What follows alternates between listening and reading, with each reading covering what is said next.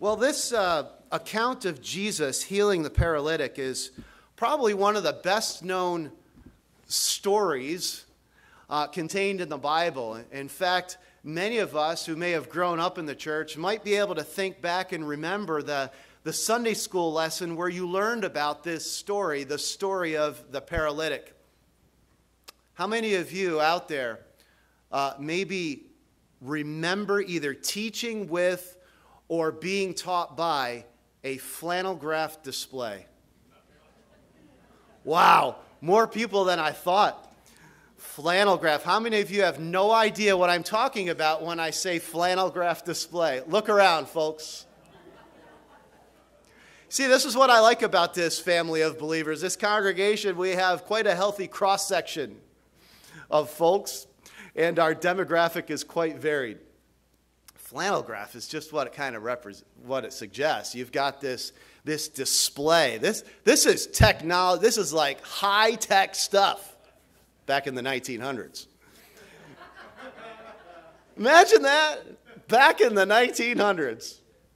But we would uh, have like a, a, flannel display, and then you'd have all the characters, and, and you would place them on the display, and just those two pieces of fabric together would keep that thing right there, fixed and in place. Hey, we, there wasn't no teaching with PowerPoint or, or any kind of multimedia technology. That was the technology. But anyway, this story could very easily be diminished to that of a mere narrative. But the story of Jesus healing the paralytic is so much bigger than a flannel graph display or the mere, the mere understanding of this narrative of something incredible that Jesus did. There are several different characters contained within the story, and, and, um, and these characters contained within the story played a, a very important role in a very important spiritual lesson that Jesus taught to have his audience understand. Yes, there was a miracle Yes, a, a paralyzed man was made to walk. Yes, that was incredible what Jesus did because it authenticated the claim that he made. But it's more than a story, it's a lesson about something quite significant. And that's what I want us to be able to see today. The setting, any good story, if you will, has to have a setting. Setting in, includes both time and place. Verse 1 gives us the setting. And when he returned to Capernaum after some days, it was reported that he was at home. Somebody was asking me yesterday, "Do you know where do you know where one of my kids was?" And the answer was he's at home. And so what was the suggestion? That he was at his own personal residence, which happens to be mine. He was at home, right? However, we don't know that Jesus was at his own personal private residence. Perhaps it would have been better in translation to have added the indefinite article, he was at a home. Now, that home that he may have been at could have been Peter's and, and Andrew's home. And in fact, many scholars believe that to be the case. Some have suggested it may have been at the home of his mother, who had uh, uh, perhaps had taken up residence in Capernaum. We know Capernaum had become his home base of operations for his Galilean ministry. He had taught in his hometown. He himself commented, A prophet is not welcome in his hometown. Why? Everybody grew up with him, everybody knew him. He tried to preach a message, and they wanted to take him up on top of a mountain and throw him down and, and make him crash on the cliffs. He was run out of his hometown of Nazareth. And so he took up his, uh, his ministry in the Galilean wilderness and Capernaum was there, and he was in a home. Now, hospitality was well understood in ancient Eastern culture. People didn't need an invitation the way we Americans do, they just showed up, they were there. They didn't set play dates with each other. They, they, they, didn't, they didn't set uh, dates to come and that are weeks in advance. If they wanted to go, it was an open door sort of a policy. Hospitality was well understood. And so people heard that Jesus was at home, and they were there at that home. They were there en masse. And they were there because they had heard about this miracle worker, Jesus. They had heard about the, the uh, demon possessed man in the temple who had had that demon cast out of him. They had heard about the leprous man who had had his leprosy cured. And there were hosts of other healings that undoubtedly would have taken place up until this point in time that aren't contained within the account that we have before us in this fast moving account from the gospel according to Mark. But what we do know is this that many people were there. They had crowded the house. They were, they were in the house, they were outside of the house. It was standing room only. You couldn't get to the door of the house. It was crowded, and there were these four friends of a paralyzed man who came bringing him laying on a bed, and they couldn't get to the door. That tells me a little bit about the mentality of the crowd that was there. They didn't have enough goodwill or decency, it seems, to be able to allow them to take this man who undoubtedly had a very deep need to be able to get close to the door. It speaks to me a little bit about the mentality of that curious crowd. It was a curious crowd. So these four friends of a paralyzed man decided to, to circumnavigate the crowd and they decided to go up on top of the rooftop and lower this man right in front of Jesus. They trusted that Jesus would heal him, and that's exactly what Jesus did. This miracle of healing gave our Lord the opportunity to be able to teach a very important lesson to that gathered crowd. This is the setting of our story. But like I said, this is way more than a story we can learn lessons that Jesus taught by examining this story. And every good story, besides the setting, has to have a cast of characters. And this is how I want us to walk through the story is to walk through the story and consider the characters who played an important role in the lesson that Jesus wanted to teach. And this is how I've organized it. First, we see the curious crowd the curious crowd. Notice I didn't call it the committed crowd. They were a curious crowd. Jesus, in, in chapter 1, verse 28, said that after a dramatic rescue of a demon possessed man, that, quote, at once, we know this from Mark, at once his fame spread everywhere throughout all the surrounding region of Galilee. Jesus had attracted crowds. They had heard about the miracle worker. They had heard about the amazing things that were being done. They had heard about the healings. They had heard about the demon exorcisms. They had heard about Jesus. It was astonishing to them. It was something that they had never seen before, and they, they were curious to be able to see who this man was.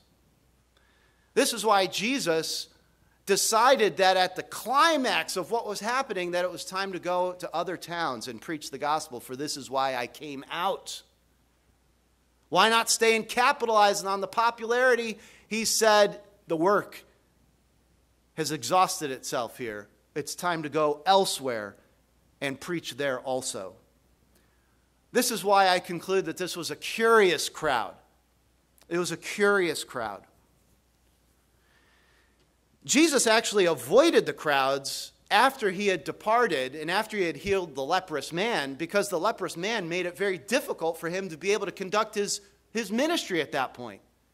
The leprous man had said, had been told by Jesus, Go and be sure to tell no one, but go to the priest so that he can take you through the ceremonial cleansing that is prescribed in Leviticus chapter 14.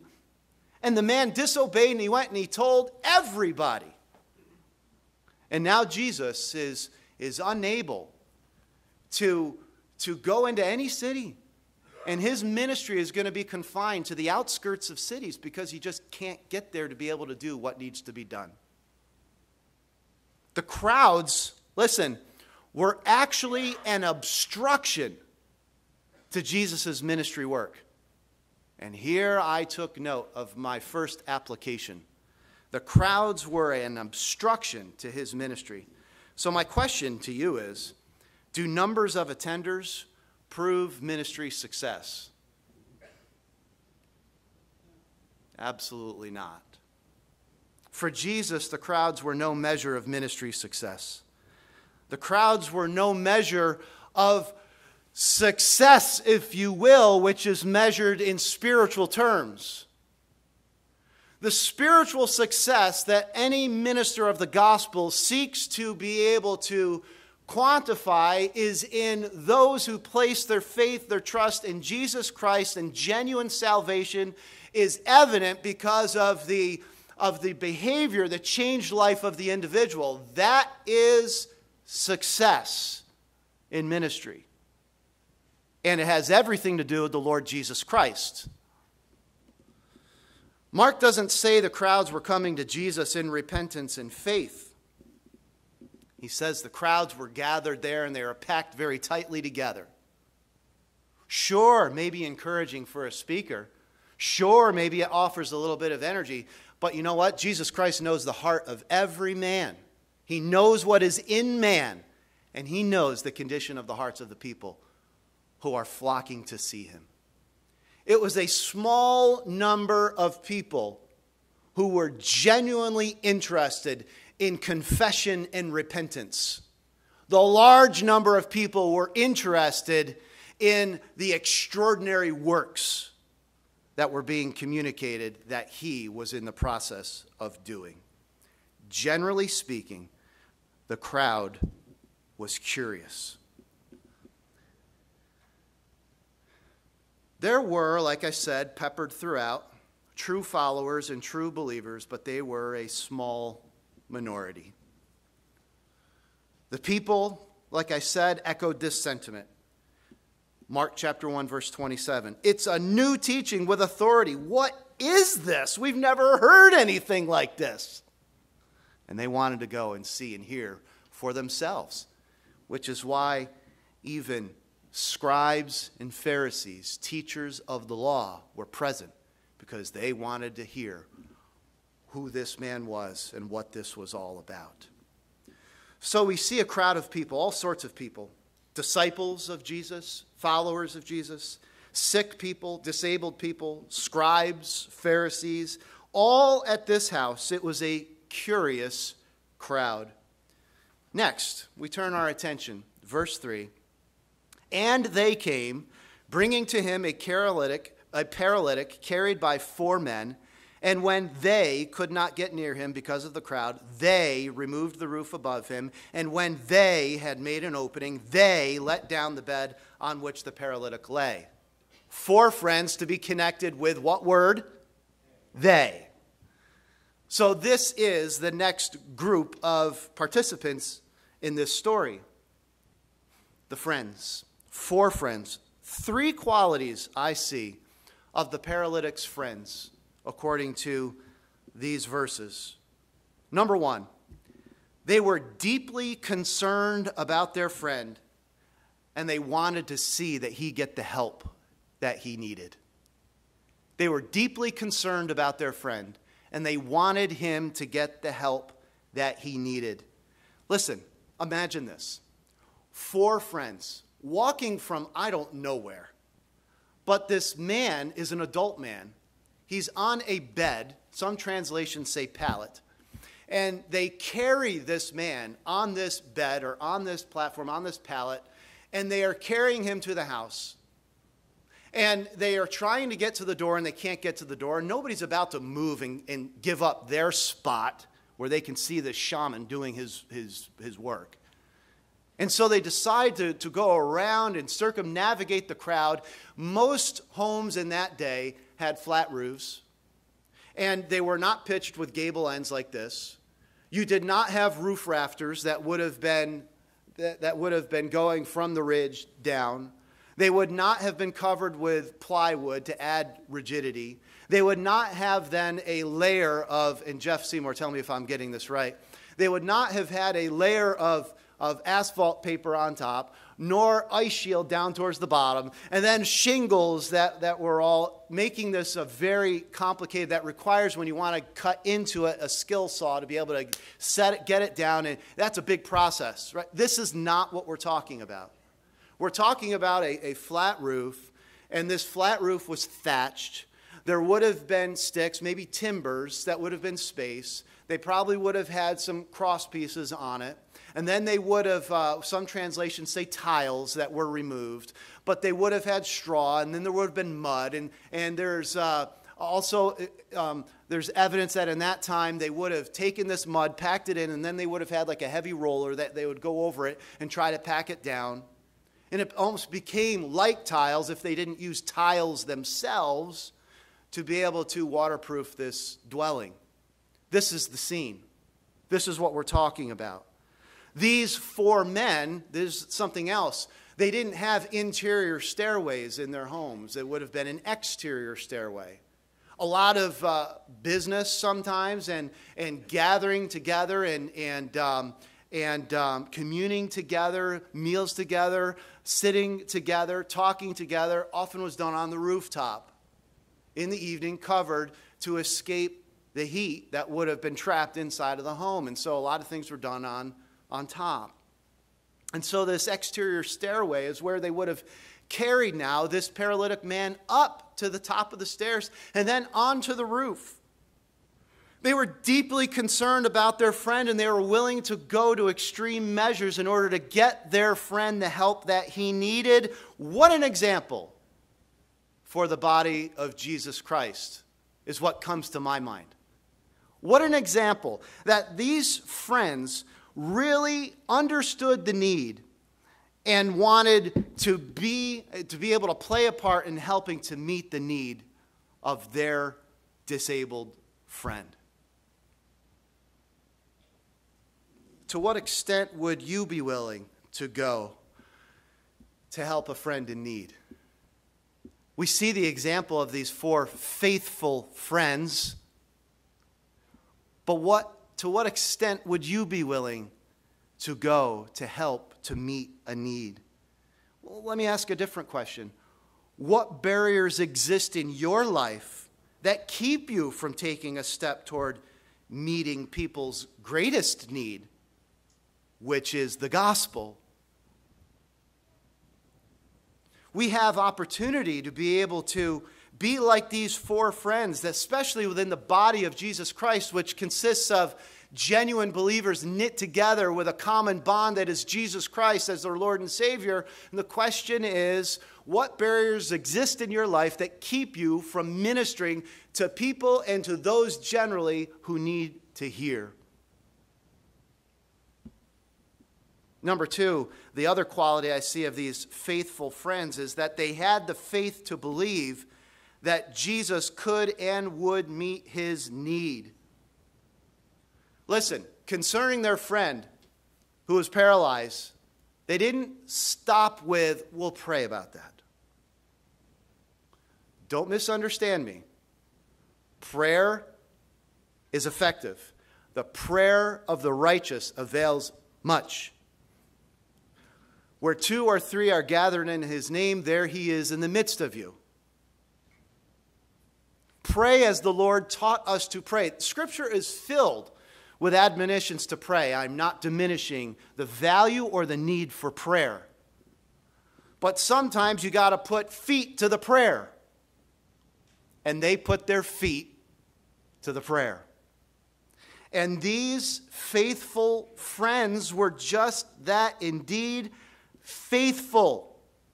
They didn't permit the difficult circumstances to dissuade them from what needed to be done. They didn't, they didn't allow the, even a uh, blocked entryway to dissuade them. They didn't allow a covered roof that was waterproof to dissuade them. Here's something we need to understand about faith. Biblically, faith is always linked to action. It's always linked to action. James chapter 2 verse 17 Faith without works is dead. Faith acts. Faith overcomes. Faith pursues. Faith is unrelenting. So we know that these faithful friends indeed had the faith and believed that Jesus could and would meet the need. Because we know later, Jesus says, and when he saw their faith. So they were faithful. Number three, they worked together and dared to do something different. They worked together and dared to do something different. Imagine the scene. I've already described to you what an ancient thatched roof system would have looked like. Just imagine this. Jesus is in the middle of the room. People are all around. They're packed at the doorway, extending out as far as, as one could see. I have no idea, but we know that the place was absolutely crowded. And these men go and they carry their friend up onto the rooftop, careful to not fall through. And then they begin digging at the roof. Digging because that's how you would uncover a thatched roof. The man is on his bed. It's some kind of a pallet. I don't know how big the guy was, but I would have to imagine the opening that would have been made had to have been big enough for that bed on which the man was lying to be able to be lowered down. And they timed it, and, and they, they must have been able to measure pretty well, a whole lot better than I can measure when I'm doing carpentry. And they measured in such a way that they were able to lower him down right there in front of Jesus. And it didn't happen instantaneously. So Jesus is preaching and teaching. All the while, you're, you're hearing whatever else is happening. And the mud is falling down. And I, I have to imagine the Lord Jesus Christ and as the dirt is crumbling above and as the hole appears, it, it, it continues to grow. Commotion is heard and, and people are distracted. And I have to imagine the Lord Jesus Christ, knowing the heart of man, must have just had this grin. I don't think he got mad. He, what was the outcome of the story? He healed the man. But listen, they worked together. They didn't say, ah, well, it was a good try, but we couldn't get you there, so maybe next time. They were unrelenting. Their faith was put to action. They believed that he could do it. They went to the top of the roof. They began destroying Peter and Andrew's roof. and they worked together and adapted to their circumstances.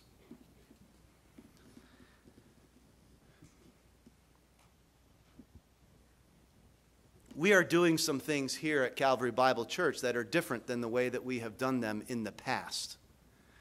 Sometimes when we see that things are happening differently, we might be inclined to conclude that we're not doing these things when the reality is that we're actually doing them maybe more efficiently and maybe even better, but because it's not happening the way you're accustomed to it happening, you think that it's not actually happening. Pooey. See, the, the scene here is that these men adapted to their circumstances and they went out of the ordinary and they did something different their faith was put to action and they, they, they went to set out to accomplish this thing that they believed in their heart of hearts needed to be done for their sick friends. So they worked together to do something different. They had the faith to believe that Jesus could and would meet their friend's need, and they were deeply concerned about their friend, wanted to see him helped. So we see the curious crowd, we see faithful friends, and now we turn our attention to the paralytic person. The paralytic person. I could have called him a paralytic man, but if, in case you couldn't tell, I was trying to have the adjective and the noun match with the first letter. I, I don't know why. It's just the teacher in me. So he got this paralytic person, but he was a man. This man's friends carried the paralyzed man to Jesus. He was totally immobile. He was carried by others, unable to enter the house on his own. And I can't help but see the application here. Have we carried anyone to Jesus?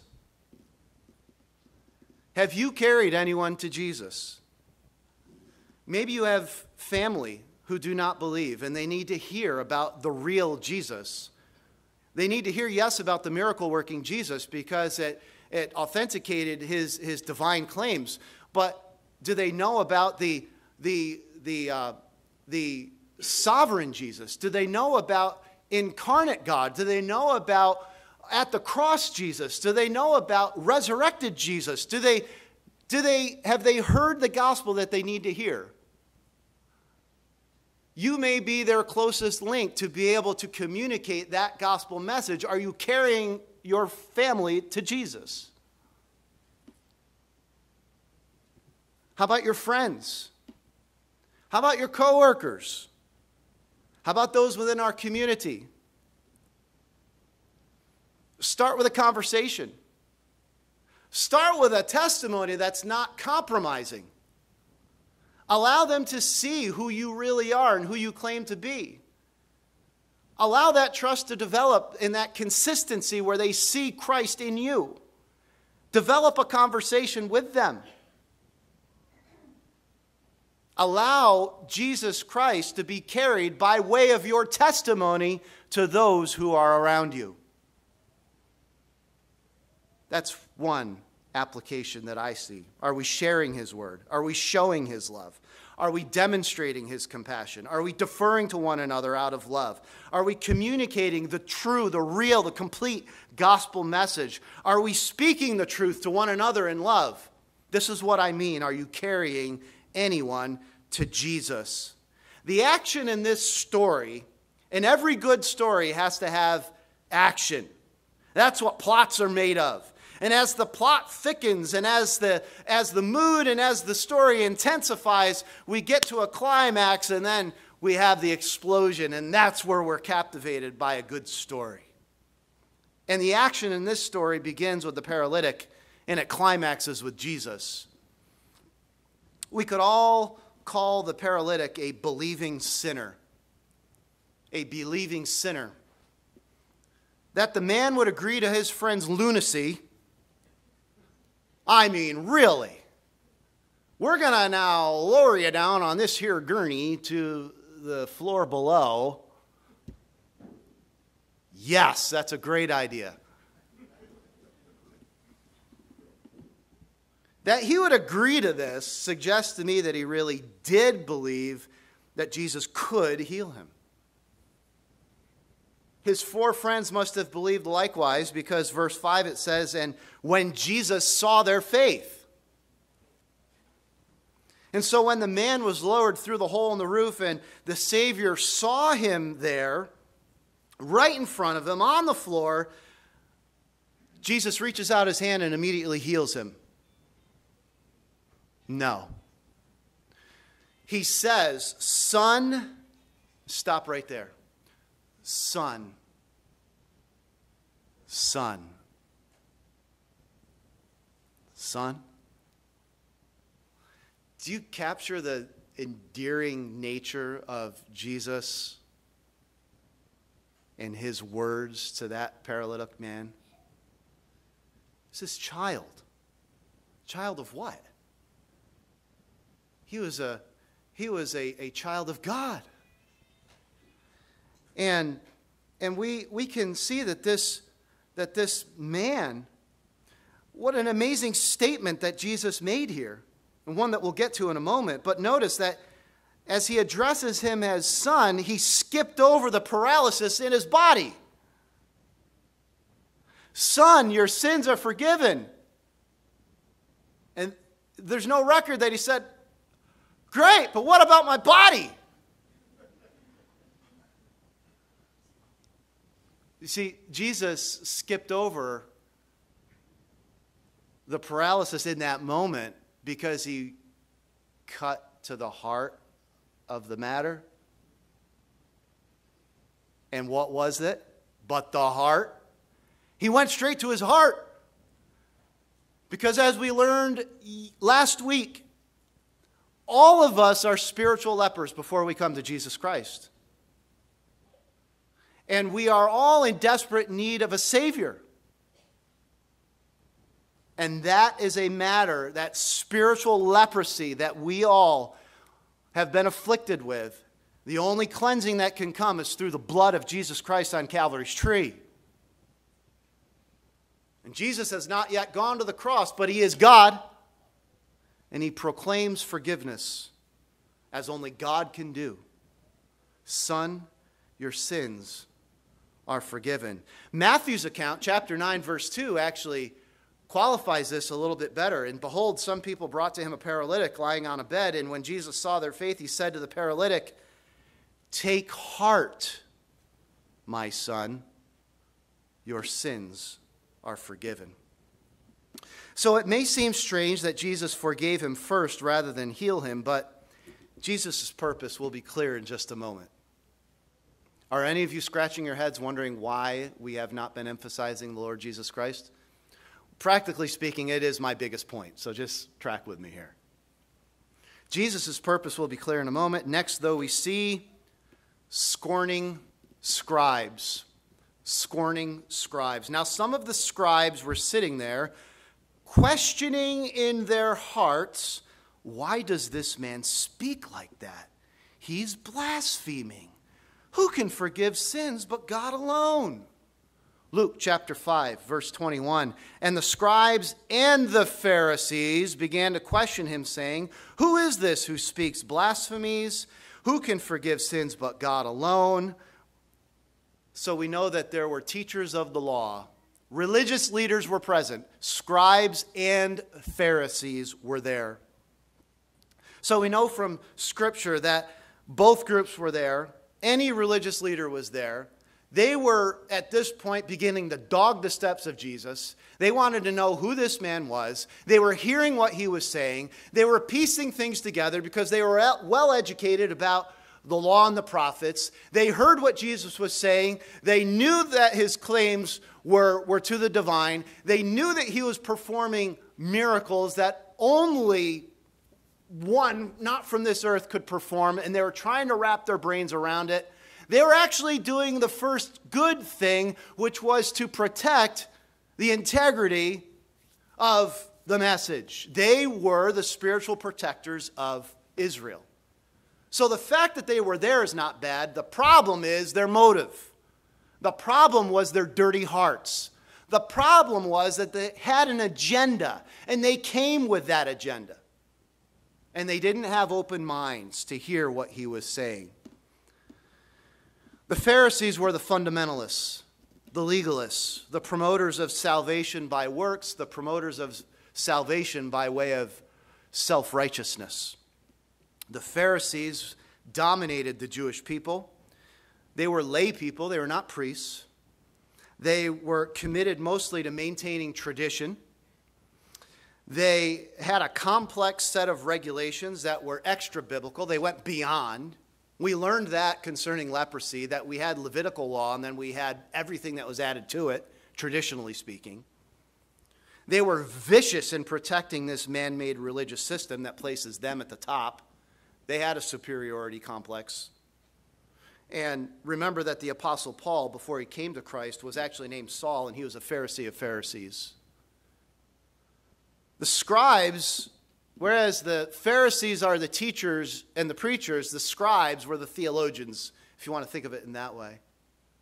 Uh, theologians are those who assemble the text. If you want to think of it educationally, you've got the teachers and then you've got the content specialists who are the ones doing the syllabus writing. So you've got the writers of the syllabus, the theologians, they are the scribes. They belong to the Pharisee system, and the scribes assembled the content. They were the scholars. So we have the Pharisees and we have the scribes, the religious leaders of the day, and they were all gathered there at this house. So these scholars and preachers and teachers were at this house, and, and that is what is important. That's what we need to understand. They were there to protect their turf. They wanted to be able to trap Jesus. They saw Jesus as a threat to their very nice, comfortable religious system. They wanted to trap him in some blasphemy, like claiming to be something that they believed he was not God. And this is where the plot thickens. Finally, we see the sovereign Savior, the sovereign Savior. And the sovereign Savior is at the center of the entire narrative. He's at the center of the whole thing. Consider this scene through the eyes of the Lord Jesus. Get behind him. See what he sees. look as though you, you have his vantage point. You're just behind him, you're looking over his shoulder, and you see what Jesus is seeing. And if we take that posture, then we can see that he looks up and he sees the paralytic and his friends. When the paralytic is lowered, he then looks down and he sees the paralyzed man with his need before him. When he looks around, he sees the scribes and the Pharisees and the curious crowd that is all about. Then, when he looks within, he sees what's in the heart of man because he knows everything. So we know that he must have looked up, according to verse 4, to see the four men on the roof with their sick friend digging away to get through that roof to be able to lower their friend down. And I believe two things about that moment concerning Jesus. Number one, that he was moved with compassion. He was moved with compassion. This would be consistent. Context is everything. Jesus was moved with compassion concerning the woman at the well. Jesus was moved with compassion concerning the leprous man. Jesus was moved with compassion concerning Peter's mother in law. Jesus was moved with compassion concerning people. He was moved with compassion. I was listening to a well known pastor preach on this text, and he said, and I quote, I have preached in many congregations, and it is maddening to have distractions and disturbances direct people's attention away from the one who is speaking. His takeaway seemed to be the interruption that happens sometimes in a worship service. He never had cell phones going off in his worship service. He never had little, little babies uh, crying out during the, the worship service. We've had someone fall down and have to be taken out with, with EMS within the worship service. It doesn't madden me, it doesn't upset me. In fact, when babies cry, I get kind of happy because I know that the next generation has the opportunity to be, opportunity to be nurtured within this fellowship of believers to become that next generation of Christ followers. That actually makes me happy. Cry on, babies. I don't think Jesus felt the way that particular preacher was expressing his sentiment. I believe that Jesus wasn't irritated or concerned. I believe that, that he knew that he had an opportunity. And I think that he saw the need of people all around him, especially this paralyzed man that was going to end up at his feet. And he saw that man and his friends, number two, he was moved with compassion and he saw their faith. He saw their faith. This paralyzed man and his friends believed that Jesus could and would heal the man. Their faith, it was their confident assurance in Jesus' ability to perform this incredible miracle of physical healing, to bring healing to this man's atrophied arms, his atrophied legs. They were frozen in place. They had to, he was paralyzed for a long time. No way that he was going to get up and walk out of there unless Jesus, moved with compassion, meets his physical need. Those friends believed that Jesus could do the impossible. So Jesus looked up, and that's what he saw. He saw need. Jesus saw need, and he was moved with compassion. Jesus looked down, and he saw the paralyzed man at his feet. Remember, that man believed that Jesus could perform an incredible miracle. He believed that. He wouldn't have gone through all that process if he didn't believe it. He believed it. And Jesus looked down and he saw the paralytic lying there. And Jesus performed the greatest miracle he had ever and would ever perform. What was it? Oh, you people are just too much on the ball. Good job. Listen, here's the big idea. The greatest miracle that Jesus ever performed was not making a paralyzed man get up and walk instantaneously. The greatest miracle that Jesus ever performed was one that cost the greatest price. By grace, you have been saved. Why? Because of what Jesus Christ did on Calvary's tree. When he purchased our redemption, that purchase infers tremendous price. The price was his life. His blood ran down. He was humiliated, mocked, scorned, beaten beyond recognition. Then he went to the cross and allowed himself to be nailed to it, suffering in a manner that you can't even possibly comprehend. That's the miracle of forgiveness. That God would love humanity in that way that he would send his one and only Son to die on Calvary's tree. That's the greatest miracle that was ever performed. The paralytic man's greatest need was not to be healed of his paralysis, which is why Jesus leapt right over the paralysis and went straight to the heart. His greatest need was in his heart. He wasn't just suffering from paralysis, he was suffering from spiritual leprosy. Like every single one of us became before we came to faith in Jesus Christ. So before the Lord healed the man's body, he spoke peace to the man's heart and announced, according to Matthew's account, Take heart, my son, your sins are forgiven. That's something only God can do. And he said it out loud. Forgiveness is the greatest miracle that Jesus ever performed. It meets the greatest need, which is salvation. It costs the greatest price, which was Christ on the cross. And it brings the greatest blessing, which is eternal life. Jesus then looked around and he saw what was in the heart of man. He looked around. He saw the critics who had come to spy on him. Luke writes concerning this, chapter 5, verse 17. On one of those days, as he was teaching in this house, Pharisees and teachers of the law were sitting there who had come from every village of Galilee and Judea and from Jerusalem, and the power of the Lord was with him to heal. So, again, we know that there were Pharisees and teachers of the law, Pharisees and scribes, they were there. And like I said, they should have been present. They had an, a, a responsibility to investigate this startup ministry. But the problem wasn't that they were there, the problem was what they were there for. They had preconceived notions, they had an agenda. They were trying to accomplish something for their own personal benefit. That was the problem. It was a matter of right attitude and, and right motivation. They had the wrong attitude and the wrong motivation. They didn't come seeking the truth, they didn't come for repentance and confession. They came with an agenda, with critical minds, and what a wonderful lesson this is for the church.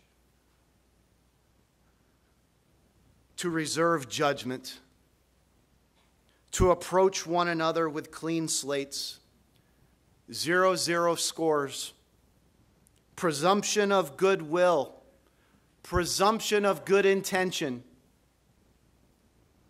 Defer to one another out of love for Christ, out of love for the gospel. If you have a concern with someone, reserve your judgment. Come out with your concern. Don't give broad, sweeping generalizations that leave people to wonder whether they're in your good graces or not. Just come out and speak the truth in love, according to Matthew chapter 18. This was the beginning of the official opposition that ultimately led to our Lord's arrest and death. Next, Jesus looked within, verses 8 and 9. Jesus looked within. And he saw the critical spirit in the hearts of the Pharisees and the scribes, and he knew that they were accusing him of blasphemy. Only God can forgive sins. They were actually right on that point. Only God can forgive sins. And Jesus had just told the paralytic that his sins were forgiven. In this scene, what was Jesus' first demonstration of divine power?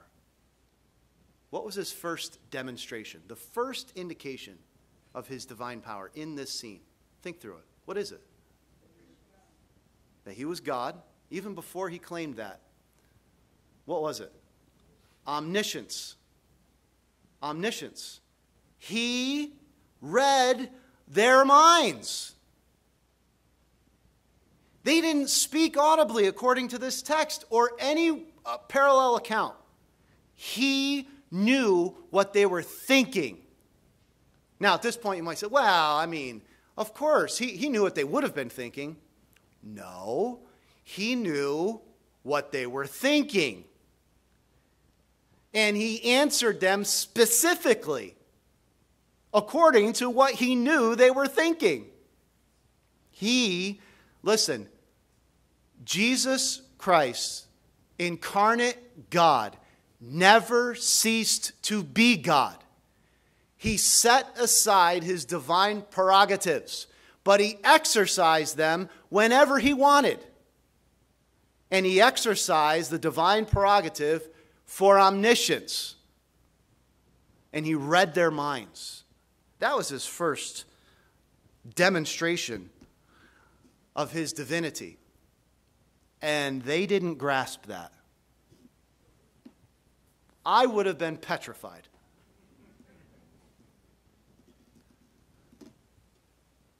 So, knowing their thoughts and that they were thinking and reasoning in their heart, he answered out loud their question with a question and gave them something to really think about. And so he asked, to paraphrase, which is easier, to heal the man or to tell him he is forgiven? Well, on the one hand, it would be easier to say your sins are forgiven because who is going to be able to verify and, and authenticate whether or not that actually happened? I mean, it's how do you prove that?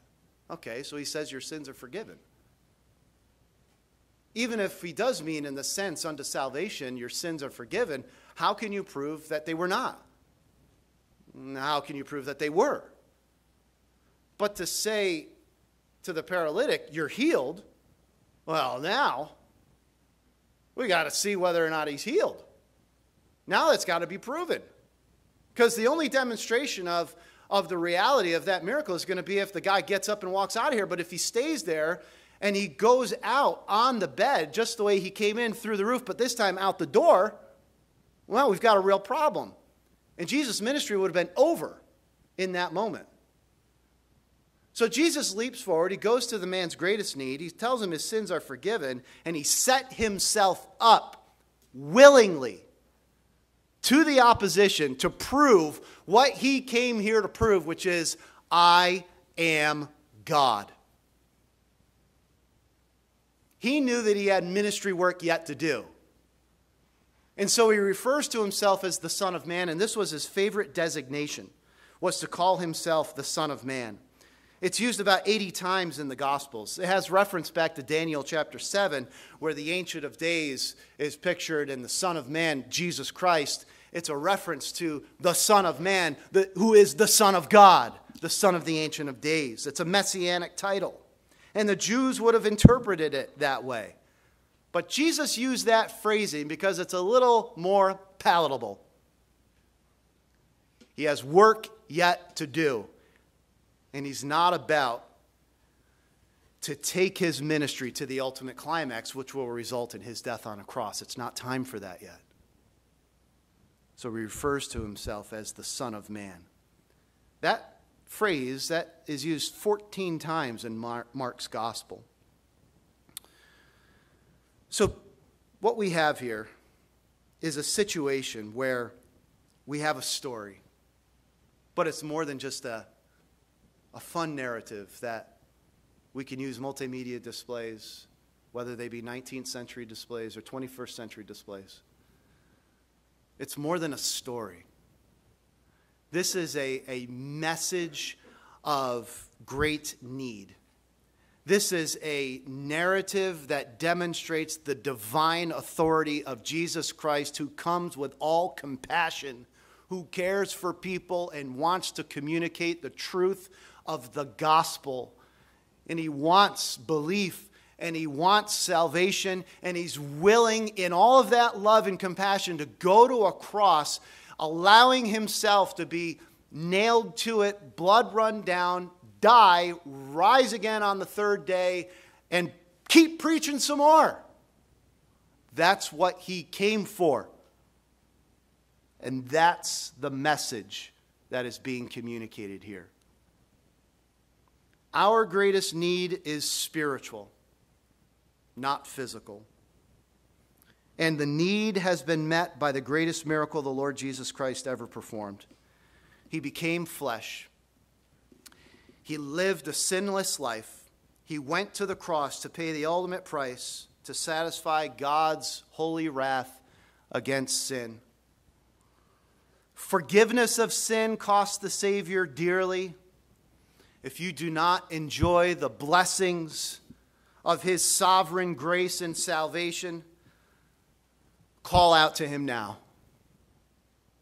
If you are assured of your salvation in Christ, then put at the top of your thanksgiving list for prayer this very thing and praise Him for salvation that comes only through Jesus' shed blood. And then live your life like you mean it. Let's pray together. Father in heaven, I thank you so much for this time that we've been able to gather together, and I thank you for the truth of the gospel, which is centered on the cross of Jesus Christ, that without forgiveness of sin, there can be no salvation. The only way sins can be forgiven is because of the work of Jesus Christ, because he is the perfect, spotless Lamb of God, sinless, the only acceptable sacrifice. I thank you for the plan of salvation which comes through your Son, Jesus. And I just pray that you would work mightily in and through all of us to be the very expression of who and what you intend us to be. For it's in Jesus' name we pray. Amen.